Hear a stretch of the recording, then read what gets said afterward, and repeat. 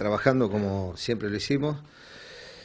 El trabajo ya lo conocemos. El tema de estar mano a mano con los vecinos es una estrategia de comunicación que hemos adoptado en, esta, en estas pasos.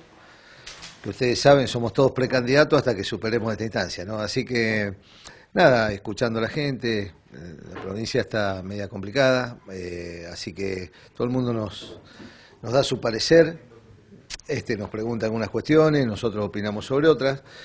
Yo quiero decirle que como precandidatos al Senado, en el caso del Colo a, la Diputación, nosotros no estamos planteando un programa de gobierno para Santa Cruz, sino cuáles son las herramientas que desde el Congreso, en el caso que la gente nos, apoye con su voto, podemos llevar adelante.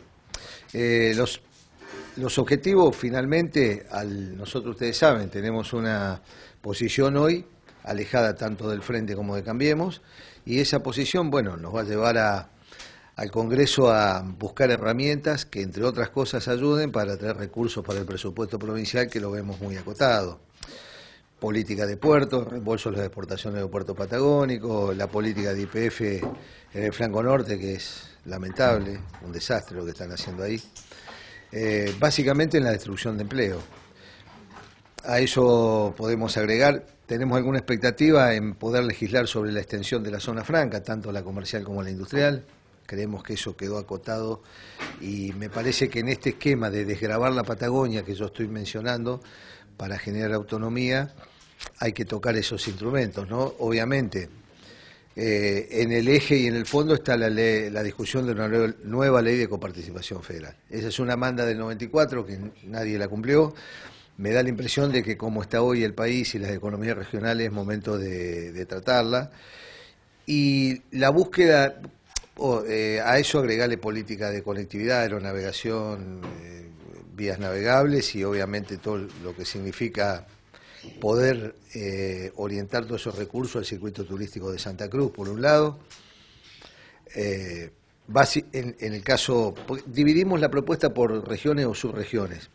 En el caso de nuestro yacimiento, en el caso de ICRT, el yacimiento de carbón, la necesidad de avanzar rápidamente en una figura jurídica que haga un paraguas sobre todos los inconvenientes que puedan hoy tener o no los trabajadores, tomando a la empresa desde la administración de esa empresa hasta el muelle de Punta Loyola, obviamente anexando la mina fundamentalmente y la producción de la mina, su programación en exploración y explotación, hacia lo que significa la central térmica que entendemos, más allá de los recursos que uno ve que se presentan sobre algunas dudas en su precio, lo que entendemos que es necesario ese 15% que falta rápidamente terminarlo. Así que, en fin, todo, todo esto nosotros entendemos de que debemos trabajar en función de un bloque regional patagónico, ese bloque regional patagónico eh, debe estar conformado, en principio, salvando las asimetrías de nuestra provincia, la Patagonia Sur, Chubut, Santa Cruz.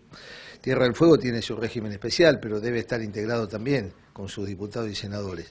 Lo mismo que Río Negro y los neuquinos.